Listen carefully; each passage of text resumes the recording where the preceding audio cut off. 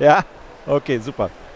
Herzlich willkommen, Philipp Banse von der Republika für DCTP TV. Äh, wir reden jetzt äh, in den nächsten Minuten mal über das Phänomen des Recruitings und wie Radikalisierung funktioniert äh, auf dem Weg, ja, weiß ich nicht, zum Islamismus nach Syrien. Peter Neumann, Sie sind Politologe am King's College in London. Ganz herzlich willkommen. Ähm, wir müssen mal so ein bisschen die FAQs durchgehen und tatsächlich mal bei Null anfangen. Ähm, wenn wir darüber reden, Radikalisierung von Jugendlichen, ich nehme an, meist junge Männer, äh, hin zum Islamismus, zu vielleicht auch, um sie dann tatsächlich nach Syrien zu locken in den, in den Kampf. Wie funktioniert das? Also äh, ich und mein Team, wir beobachten das ja seit vielen Jahren schon. Uns ist 2012 zum ersten Mal aufgefallen, dass Leute nach Syrien gehen. Und da spielt das Internet eine Rolle, aber es spielt nicht die einzige Rolle. Wenn Sie sich mal anschauen, wo kommen die Leute her in Europa, die nach Syrien gegangen sind, dann sind es immer äh, relativ komische Häufungen. Häufungen in Orten, die eigentlich nicht so bekannt sind für salafistische Aktivität. In Deutschland Solingen, Mönchengladbach, Bonn, Wolfsburg, in Großbritannien Portsmouth, Cardiff, Brighton. In Belgien kamen am Anfang zumindest fast die Hälfte aller Kämpfer aus dem kleinen Ort Vilvoorde, 30.000 Einwohner vor den Toren Brüssels. Und das deutet ja schon darauf hin, dass es eben nicht nur das Internet ist, sondern dass das häufig Freundesgruppen sind. Leute, die miteinander Fußball gespielt haben, die miteinander zur Schule gegangen sind, wo dann sich ein oder zwei der salafistischen Szene angeschlossen haben und dann gewissermaßen ihre Freunde rekrutiert haben. Wenn es wirklich nur das Internet wäre, dann würde man eigentlich diese Häufungen nicht erwarten, denn das Internet ist ja überall. Diese Häufungen gibt es, weil hier tatsächlich enge soziale Bindungen nach wie vor eine sehr große Rolle spielen. Aber diejenigen, so der, der Kern dieser Truppe oder der, der, der, der Kern, um den sich das dann so rumkristallisiert, ja. äh, was sind das für Menschen? Was verbindet die? Welche Eigenschaften bringen die mit, dass sie empfänglich sind für solche Rekrutierungsversuche? Klar, also äh, wenn ich Ihnen jetzt ein Papier schreiben würde als Wissenschaftler, würde ich natürlich sagen, so einfach geht das nicht. Jetzt gebe ich Ihnen mal die ganz kurze Antwort. Die ganz kurze Antwort ist, das sind junge Leute, die erstens auf der Suche sind und die zweitens nicht das Gefühl haben, dass sie in der Gesellschaft wirklich dazugehören. Und das ist dann besonders akut, wenn diese Leute aus der zweiten, dritten Generation kommen, also Kinder oder Kindeskinder von Einwanderern nach Deutschland, Frankreich, Großbritannien, die immer noch so das Gefühl haben, wir haben jetzt zwar einen französischen Pass, wir sind hier geboren, wir sind hier zur Schule gegangen, wir sprechen Französisch, aber wir gehören nicht richtig dazu. Wir wissen nicht, wo wir hingehören. Wenn wir in die Türkei gehen, werden wir als Deutsche beschimpft, aber in Deutschland werden wir als Türken beschimpft. Und da schließen sich dann ganz viele Fragen dran an. Und wenn man 17, 18 ist, ist man natürlich sowieso an dem Punkt, wo man überhaupt erstmal versucht zu definieren, wer bin ich überhaupt. Und wenn man dann in der Situation das Pech hat, dass dann ein Extremist reinkommt und sagt, ja, du bist gar kein Franzose. Der Grund, weshalb deine Jobbewerbungen immer zurückgeschickt werden, hat damit zu tun, dass dein Name Mohammed ist, denn du bist Muslim und du bist eigentlich in Wirklichkeit, befindest du dich im Krieg mit, der, mit Frankreich. Du musst dich uns anschließen. Komm ins Kalifat, da kannst du stark sein, da kannst du mächtig sein, da gibt es Waffen, da gibt es Abenteuer. Da bist du Teil einer Gesellschaft, wo du nicht der Loser bist, sondern der Held bist. Und das ist etwas, was jemand für jemanden, der in einer solchen Situation ist, schon etwas sehr Attraktives sein kann. Natürlich für eine ganz kleine Minderheit, aber das ist so die Geschichte von vielen der Rekruten, die dann in Syrien gelandet sind. Jetzt doch nochmal zurück, also Sie haben gesagt, so einfach ist das nicht, ja. wenn man das wissenschaftlich betrachtet. Mhm. Wo sind denn da so die Grauzonen, die Sie jetzt relativ klar gemalt haben? Klar. Erste Grauzone, wir haben in ganz Europa ungefähr 20 bis 25 Prozent der Syrien-Kämpfer oder der Syrien-Reisende sind sogenannte Konvertiten. Also das sind überhaupt nicht Leute aus der zweiten, dritten Einwanderergeneration. Das sind häufig ähm, Leute, die als Christen geboren und aufgewachsen sind und die eigentlich keinen muslimischen Hintergrund haben und die auch nicht in diesen Milieus verkehrt sind. Äh, dann haben wir eine größer und stärker werdende Zahl von Frauen. Das ist eines der größten Rätsel überhaupt. Was findet eine Frau an dieser Art von Gesellschaft attraktiv? Speziell eine Frau, die in einer westlichen Gesellschaft mit allen Rechten geboren und aufgewachsen ist. Also da gibt es schon wirklich viele Gruppen, die so ein bisschen die Ausnahme von der Regel sind. Und deswegen ist es nicht so einfach. Also es gibt schon ganz unterschiedliche Verläufe. Und wir haben jetzt auch zum Beispiel gesehen, äh, auch in, in, Stockholm, in London, das waren nicht mehr Leute, die 17, 18 sind, das waren Leute, die 39, 38 waren. Das sind schon Leute, wo man eigentlich denken müsste, die sind aus dieser Identitätsphase, Findungsphase eigentlich schon draußen. Also es gibt schon Unterschiedliche. Okay, es gibt schon, unterschiedliche. aber so das, was Sie zunächst beschrieben haben, das, das trifft auf einen großen Teil. Großen Teil. Über wie viele Zahlen reden wir hier? Also was ist die Anzahl der also Leute? Also wir haben in äh, Westeuropa haben wir 5000 Leute, die im Laufe der letzten fünf Jahre nach Syrien gegangen sind als Kämpfer. Bei denen geht man davon aus, ein Drittel ungefähr ist bereits wieder zurück. Also das sind Leute, die sind bereits wieder nach Europa zurückgekehrt. 15 bis 20 Prozent sind in Syrien und im Irak gefallen, also die sind tot und der Rest ist noch da. Also in Deutschland zum Beispiel geht man davon aus, 850 Kämpfer, von denen ist ein Drittel zurück, 350, 400, von denen 15 bis 200 sind tot. Also ungefähr die Hälfte ist noch da, 400 würde ich sagen, 400 Deutsche sind noch da unten. Ist denn der Kampf in Syrien das zentrale Ziel von Rekrutierungsversuchen? Nicht mehr. Lange Zeit war es das. Lange Zeit hieß es, wenn du Muslim bist, hast du die Pflicht, nach Syrien auszureisen, weil wir dort eine perfekte Gesellschaft aufbauen und das ist unser Ziel. Jetzt natürlich seit 2015 ist dieses sogenannte Kalifat in der Defensive, hat auf der irakischen Seite bereits wieder 60 Prozent des Territoriums verloren, auf der syrischen Seite 30 Prozent. Die Geschichte ist nicht mehr so erfolgreich. Mittlerweile sagt der Islamische Staat, bleibt wo ihr seid, und greift die Ungläubigen in ihrer Heimat an. Und ich glaube, zumindest zum Teil erklärt das auch, weshalb wir in den letzten sechs bis zwölf Monaten eine Häufung der Anschläge gesehen haben, weil eben die Betonung nicht mehr auf Ausreise ist, sondern auf in der Heimat bleiben und mit den einfachsten Mitteln Anschläge durch. Äh, wenn wir jetzt, Sie haben ein bisschen diese Gruppen beschrieben, die zumindest ähm, empfänglich sind äh, für solche Rekrutierungsversuche auf welchen Wegen werden die dann angesprochen? Also wie also nehmen, ja, ich weiß nicht, also ja, äh, fangen wir erstmal so an. Auf welchen Wegen werden sie angesprochen? Also die allermeisten werden tatsächlich von Angesicht zu Angesicht angesprochen ah. in der salafistischen Szene überall in Deutschland oder in Europa, wo die aktiv ist. Das ist Zum der Beispiel, Erstkontakt, ja? Das ist der Erstkontakt und deswegen haben wir in Deutschland eine große Diskussion über diese äh, Lease-Kampagne, wo die Korane verteilt wurden in Fußgängerzonen. Das war so ein, eine Art von Erstkontakt, wo dann äh, einige Leute auch dran hängen geblieben sind. Es gibt zum Teil auch Ansprache im Internet. Also wo Leute, die sich zum Beispiel für bestimmte Facebook-Gruppen interessieren, die werden dann angesprochen, gesagt, ja, du hast dich dafür, willst du nicht mal hier mit uns Kontakt aufnehmen, wir wollen dich mal treffen und so weiter und so fort. Aber der Punkt ist folgender, es bleibt selten online. Also es ist schon immer so, selbst wenn jemand online angesprochen wird, kommt da meistens dann die Idee raus, lass uns mal treffen in Solingen oder in Mönchengladbach oder wo auch immer. Ne? Also der Punkt ist, dass diese Art von Online-Radikalisierung, wo Leute wirklich nur im Internet sich radikalisieren, dass das ganz, ganz selten ist. Ähm, was sind denn das äh, und wer unternimmt diese Rekru äh, Radikalisierungsversuche? Also von wem gehen die aus?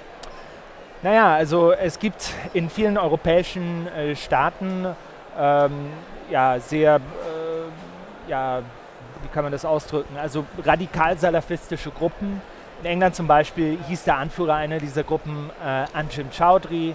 In Deutschland hat man gehört im November zum Beispiel, dass das Rekrutierungsnetzwerk um Abu Wala ausgehoben wurde. Und das war wirklich eine zentrale Figur. Der hat in Niedersachsen, Nordrhein-Westfalen, war der ständig unterwegs, hat sich als Gesandter porträtiert des Kalifat, äh, des, des Kalifen und äh, war gewissermaßen einer, der so diese Leute in diese Netzwerke mit eingefügt hat und Gruppen geschaffen hat in verschiedenen Städten, die dann Anhänger des Islamischen Staates wurden und wo dann auch Ausreisen stattfanden. Äh, Sie haben gesagt, Internet spielt zumindest am Anfang nicht die zentrale Rolle. Welche mhm. Rolle spielt denn das Internet bei dieser Das Internet ist äh, deswegen wichtig, weil das Internet gewissermaßen die Marke des Islamischen Staates schafft. Und der Islamische Staat ist nicht durch Zufall die erfolgreichste Gruppe geworden. Der Islamische Staat war deswegen so erfolgreich. Es gibt auch andere Gruppen, Al-Nusra, Al-Qaida und so weiter. Er war deswegen so erfolgreich, weil der Islamische Staat anders als andere Gruppen von Anfang an sich sehr offensiv auch online vermarktet hat, sehr professionell aufgetreten ist. Die ganze Propaganda war in europäischen Sprachen verfügbar. Der Irrtum wird ja häufig gemacht, dass man denkt, ähm, ja, man muss die in Türkisch oder Arabisch ansprechen diese zweite, dritte Generation spricht vor allem europäische Sprachen. Der Islamische Staat war der Erste, der das verstanden hat. Und durch seine Videos hat er eben auch diese Idee geschaffen, dass das etwas ist, wodurch man zum Helden werden kann.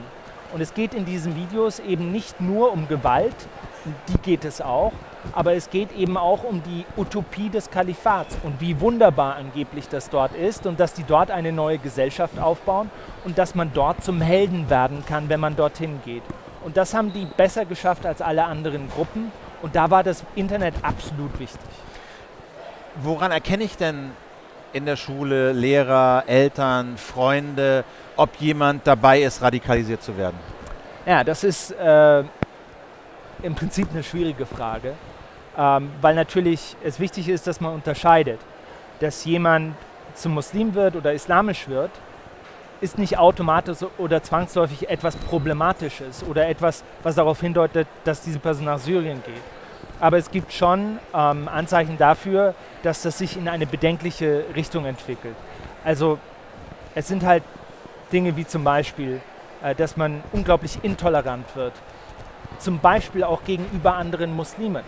Ja, also nicht nur gegenüber Christen oder anderen Glaubensrichtungen, aber auch gegenüber anderen Muslimen unglaublich intolerant wird. Dass man sich von seinen Eltern abkapselt, kapselt, nichts, nichts mehr mit ihnen zu tun haben möchte. Und natürlich muss man genau zuhören, was sagen die und wie repräsentieren die sich.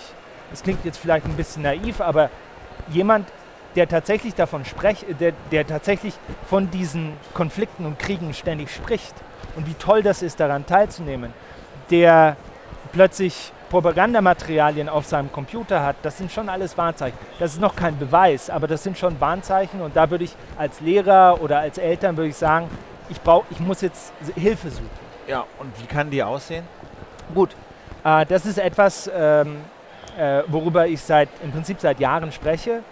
Und wir sind in Deutschland in der vergleichsweise guten Lage, dass wir mittlerweile in fast allen deutschen Bundesländern Präventionsnetzwerke haben. Und die bestehen in manchen Bundesländern zum Beispiel daraus, dass es eine Hotline gibt, wo Eltern anrufen können.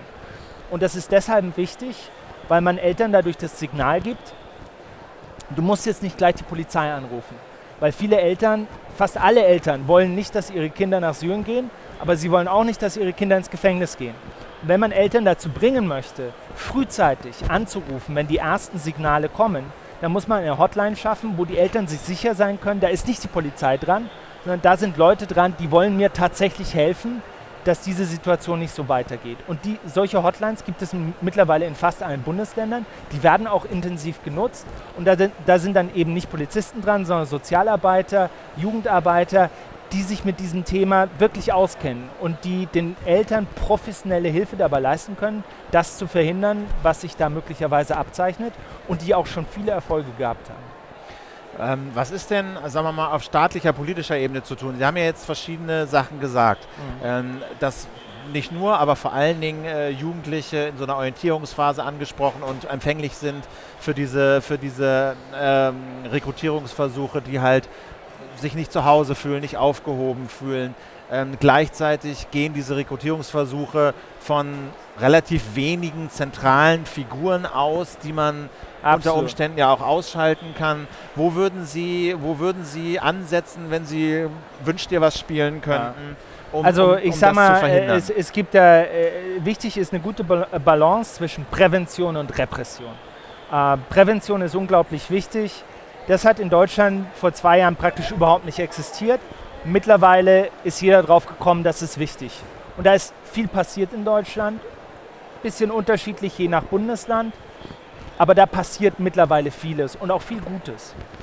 Was die Repression angeht, muss ich sagen,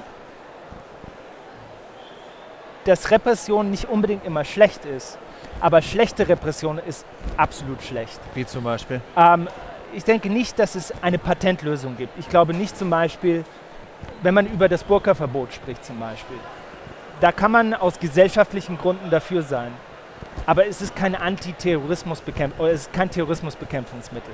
Ja? Also man darf sich davon nicht erwarten, dass das irgendeinen Beitrag dazu leistet, dass es weniger Terrorismus gibt. Man kann sagen, okay, das passt nicht zu uns als Gesellschaft, aber als Terrorismusbekämpfungsmittel absolut unbrauchbar. Was ich lange Zeit nicht verstanden habe, ist, dass solche Figuren wie Abu Wala, der Leute rekrutiert hat in Deutschland, oder wie zum Beispiel der salafistische Verein, wo Anis Amri hingegangen ist, in Moabit, bekannt als die ISIS-Moschee, dass solche Vereine nicht verboten wurden und dass sie so lange existieren konnten. Denn das waren wirklich die Dreh- und Angelpunkte. Da waren die wenigen Leute, die sehr viele Leute rekrutiert haben. Also die Zentren von diesen Netzwerken haben dort operiert. Und ich finde es richtig, repressiv auch diese Vereine zu schließen und diese Leute dann auch auszuschalten. Und das, das ist meiner Meinung nach ein wichtiges Mittel und ich, will, ich glaube, wir werden da jetzt momentan ein bisschen offensiver, aber das hat zu lange gedauert. Auch aus vielleicht falsch verstandener Vorsicht, um nicht als antimuslimisch es ist natürlich, Es ist natürlich unglaublich schwierig, weil Sie haben hier mit zwei Themen zu tun, die uns in Deutschland aus guten Gründen heilig sind. Erstens Religionsfreiheit, zweitens Vereinigungsfreiheit. Also einen Verein zu verbieten ist in Deutschland nicht einfach und noch dazu einen religiösen Verein ist noch schwieriger. Da haben sich die Juristen und wahrscheinlich auch politisch hat man sich damit sehr schwer getan. Ich hoffe, dass man jetzt besser versteht, dass es natürlich nicht die Regel sein sollte, dass man solche, dass man religiöse Vereine verbietet, aber dass es doch wirklich Leute gibt, da muss man sagen, das sind nicht religiöse Vereine, sondern das sind Vereine, die dazu dienen, Terrorismus zu promoten und das muss verboten werden. Und gehen diese Leute dann nicht einfach in den Untergrund und organisieren Die sind ja ohnehin zum Teil im Untergrund. Die sind ja ohnehin zum Teil im Untergrund. Aber diese Vereine sind nach wie vor sozusagen das Schaufenster, was dann Leuten, die gewissermaßen auf der Suche sind und die sich dieser Szene anschließen wollen, diese Kontaktmöglichkeit gibt. Und diese Kontaktmöglichkeit ist bei vielen Leuten relativ wichtig. Also es, ich glaube, es ist schon eine wichtige Maßnahme. Ich würde nochmal zur Prävention kommen. Also wenn Sie sagen, äh, Jugendliche, die sich nicht äh, aufgehoben fühlen, ausgegrenzt ja. fühlen ja. und man liest dann beispielsweise einen Innenminister, der Leitkultur formuliert und sowas sagt, wir, wir sind nicht Burka. Äh, ja. Trägt das zur Ausgrenzung dabei? Nein, das glaube ich nicht. nicht. Und ähm, ich glaube, es gibt hier zwei Seiten der Medaille. Und äh, da haben sowohl die Linken als auch die Rechten etwas aufzuarbeiten. Der erste Punkt der Medaille ist, dass man sagt, es gibt in unserer Gesellschaft Gesetze, an die muss sich jeder halten. Und es gibt darüber hinaus auch Normen, die sind zwar nicht in Gesetzen festgeschrieben, aber so wollen wir in unserer Gesellschaft leben. Das ist, manche Leute bezeichnen das als Leitkultur. Auf der anderen Seite muss man dann allerdings, damit tun sich die Linken schwer. Ja? Auf der anderen Seite muss man allerdings sagen, und damit tun sich die Rechten manchmal schwer, wer sich an die Gesetze hält und wer versucht, sich an dieser Leitkultur zu orientieren, der muss dann auch wirklich akzeptiert werden. Der muss dann auch wirklich dazugehören. Selbst wenn sein Name Mohammed ist, selbst wenn seine Eltern aus der Türkei kommen, der ist dann Deutscher. Ja? Also es sind zwei Seiten der Medaille. Das erwarten wir von dir, aber wenn du das erfüllst, dann gehörst du wirklich auch zu unserer Gesellschaft dazu. Dann bist du Teil Deutschlands, genauso wie ich und sie und alle anderen. Und wie kann man diesem Dazugehören Ausdruck verleihen? Was muss, was, was muss an staatlicher Seite von Schulen, weiß ich nicht, Staatsbürgerschaftsrecht passieren, damit dieses Gefühl eintritt? Und das ist genau der Punkt. Das ist, glaube ich, das Schwerste für Deutsche zu verstehen dass es da nicht ein Gesetz gibt, das man verabschieden kann. Ja, ich muss ja immer lachen, und der in Deutschland und sowas. das Integrationsgesetz. Ja, ja wir verabschieden jetzt ein Gesetz und dann funktioniert die Integration. Ja. Ich glaube, das ist leider etwas, was schwieriger ist und was auch von der Gesellschaft selber kommen muss. Natürlich haben Politiker da eine Funktion und natürlich müssen die den Ton richtig angeben, aber letztlich müssen sich auch unsere Einstellungen ändern und das wird bestimmt noch eine Generation dauern was wir, glaube ich, in Deutschland besser machen, also Deutschland ist nicht das Land, das am schlimmsten dran ist. Was, wenn Sie nach Frankreich schauen, wenn Sie nach Belgien schauen, äh, die Vororte von Paris oder Stadtteile wie Molenbeek in Brüssel, dass da im Prinzip über Jahrzehnte von staatlicher Seite gesagt wurde, das interessiert uns überhaupt nicht mehr. Wir sind da nicht mehr präsent. Wir schicken da die Polizei nicht mehr hin. Wir machen da die Jugendzentren zu. Wir sind da überhaupt nicht mehr als Gesellschaft vorhanden. Das haben wir Gott sei Dank in Deutschland in dem Maße noch nicht. Natürlich gibt es auch in Deutschland problematische äh, Gebiete, aber in dem Maß wie in Frankreich und Belgien haben wir das noch nicht. Und diese Art von rechtsfreier Raum hat natürlich auch dazu beigetragen, dass Leute nicht das Gefühl hatten, sie gehören überhaupt zum Rest der Gesellschaft dazu. Und als Warnung an Deutschland muss man sagen, schaut nach Frankreich und Belgien und stellt sicher, dass das bei uns nicht passiert. Das ist jetzt wirklich die letzte Frage, weil da, ja. will, ich, da will ich mal auch für die Leute, muss man mal konkret machen, wie das aussehen ja, der kann. Staat muss präsent sein. Der Staat muss präsent sein. Und da ist auch wieder auf zwei Seiten. Die Linken wollen dann mit Jugend- und Sozialarbeitern rein. Ja. Absolut in Ordnung. Die Rechten mit, wollen mit Polizei rein. Auch in Ordnung.